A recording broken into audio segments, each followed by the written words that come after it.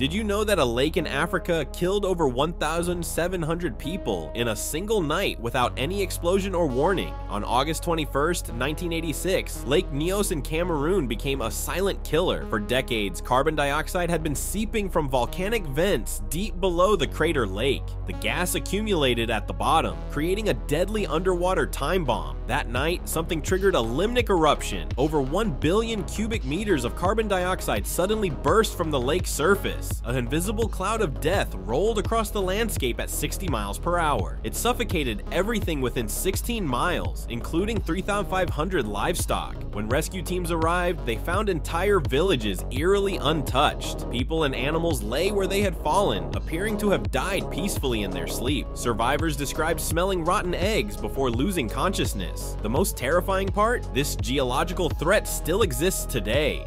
Similar crater lakes around the world could unleash the same silent catastrophe at any moment. Nature's most deceptive killer hides beneath calm waters.